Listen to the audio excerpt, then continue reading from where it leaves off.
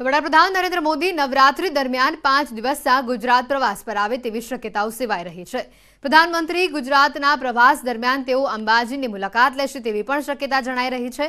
મુલાકાત દરમિયાન તારંગાથી અંબાજીને આબુ રોડ સાથે જોડવા રેલવે લાઇનનું ખાતમુહૂર્ત કરે તેવી લોકોને આશા સેવાઈ રહી છે.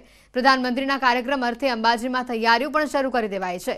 સભા સંબોધન અર્થે પણ અહીંયા ડોમ પણ ઊભો કરાયો છે, જોકે હાલ પીએમઓમાંથી પ્રવાસ ક્લિયરન્સ થયા બાદ કાર્યક્રમને આખરી ઓપ આપવામાં આવશે. અનેક વિકાસ કાર્યોના ભેટ અર્થે અંબાજી ખાતે આવી રહેલા પ્રધાનમંત્રીના સ્વાગત અર્થે તડામાર તૈયારીઓ તંત્ર તરફથી શરૂ કરી દેવાઈ છે. અને અંબાજી મોદી સાહેબ આવે તો અંબાજીને વર્ષોથી રાહ જોવાતી રેલવે લાઇનનો ખાતમુહૂર્તનું પણ કામ થઈ શકે છે.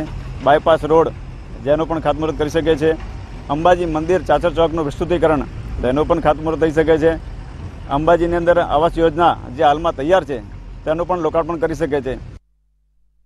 દેશના વડાપ્રધાન નરેન્દ્રભાઈ મોદી આગામી પાંચ દિવસ માટે ગુજરાતની મુલાકાતે આવી રહ્યા છે. ત્યારે ચોક્કસપણે કહી શકાય છે કે તેઓએ પાંચ વર્ષ બાદ શક્તિપીઠ અંબાજીની મુલાકાતે આવવાનું મન બનાવ્યું હોય તેવી પૂરી શક્યતા જોવા મળી રહી છે અને હાલ તબક્કે તેઓ જે રીતે શક્તિપીઠ અંબાજીની મુલાકાતે આવવાના છે ત્યારે વિવિધ વિકાસના કામોને પણ વેગ આપે તેને લઈને અહીંયા તંત્ર દ્વારા તડામાર તૈયારીઓ શરૂ થઈ ગઈ છે. આપણે બતાવવા માંગીશ કે જે રીતે અંબાજીમાં લગભગ મોટી સંખ્યામાં જે પ્રેક્ષકો છે તેને સંબોધન કરવા માટે અહીંયા વિશાળ ડોમની તૈયારી ચાલી રહી છે અને હાલ તબક્કે લગભગ એક લાખ લોકો બેસી શકે તેવી વિશાળ તૈયારી ચાલી છે. અનેક મશીનરીઓ રાતોરાત બોલાવી અને વિશાળ મેદાન બનાવવામાં આવી રહ્યું છે. અનેક મશીનરીઓ તડામાર તૈયારીઓ ચાલુ રહી છે અને ચોક્કસપણે કહી શકાય છે કે જ્યારે તેઓ અંબાજી આવી રહ્યા છે, ત્યારે અંબાજીમાં ખાસ કરીને જે તેમણે હસ્તે કે જે રેલ માર્ગ સાથે સાંકળવાની વાત કરી છે, તેનું પણ ખાતમુહૂર્ત કરે તેવી પણ લોકમુખ્ય વાતો ચર્ચાઈ રહી છે અને મંદિરનું ચાચા ચોકનું વિસ્તૃતિ કામ પણ શરૂ કરાવે અને સાથે જે અંબાજી બાયપાસ માર્ગ છે તેવા અનેક વિકાસના કામો છે. કે પછી વડાપ્રધાન યોજનાના જે આવાસના મકાનો તૈયાર પડે છે,